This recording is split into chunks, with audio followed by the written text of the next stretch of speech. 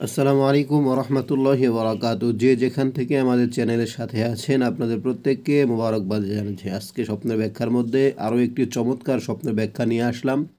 সেই ব্যাখ্যাটা আপনাদের সকলেরই ভালো লাগবে। শেষ পর্যন্ত জেনে যাবেন, ইনশাআল্লাহ তাআলা। এখনও যারা আমাদের চ্যানেলটি সাবস্ক্রাইব করেন নাই, দয়া করে দয়া করে সাবস্ক্রাইব করে দিবেন। প্রিয় বন্ধুরা, পতাকা দেখা। স্বপ্নে যদি আপনি পতাকা দেখেন, তাহলে এর ব্যাখ্যাগুলো কী হবে, সেগুলো আমরা আলোচনা করছি। পতাকা স্বপ্নে দেখা জ্ঞানী গুণী বা ইমাম মুক্তাদি বা এমন ব্যক্তি মানুষ যার অনুগত্য করে।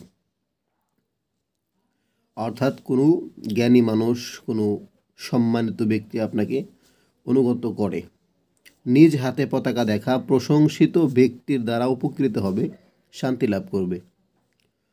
পতাকা হাত থেকে পড়ে যেতে বা নষ্ট হয়ে যেতে দেখা প্রথম ব্যাখ্যার বিপরীত ব্যাখ্যা হবে। অর্থাৎ মুত্তাকি ভালো মানুষ জ্ঞানীগুণী মানুষরা আপনাকে অনুসরণ করবে না, আপনার অনুগত্য করবে না।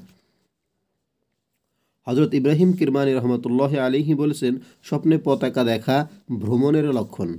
মানুষ আপনাকে পতাকা দিচ্ছে বা আপনার কাছে সৈন্য একত্রিত হচ্ছে এমন যদি দেখেন, তাহলে ইজ্জত ও সম্মান লাভ হবে। বিশেষ করে যদি পতাকা সাদা বা সবুজ হয়। হজরত জাবের মাগরিবি রহমতুল্লাহ আলিহি বলেছেন, হাতে বড় সাদা পতাকা দেখা, কোনো মালদার বুজুর্গ ব্যক্তির সাথে সাক্ষাৎ হবে, তার দ্বারা উপকৃত হবে। নিজের নিকট সবুজ পতাকা দেখা, পরহেজগার মুত্তাকি হবে। কালো পতাকা দেখা, কাজী বা খতিব হবে।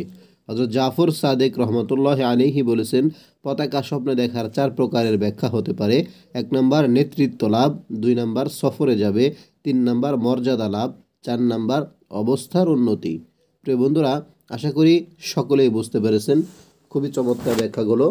আল্লাহ পাক রব্বুল আলমিন আমাদের সকলকে গুনাহমুক্ত জীবনযাপন করার তৌফিক দান করুক এবং যেই স্বপ্নের ব্যাখ্যাগুলো জানলাম, এগুলো জেনে আরেকজন ভাইকে জানার ব্যবস্থা করে দিই, সুযোগ করে দিই। আল্লাহ তারা সকলকে ভালো রাখুক, সকলে ভালো থাকুন। আসসালামু আলাইকুম রহমতুল্লাহি বরকাত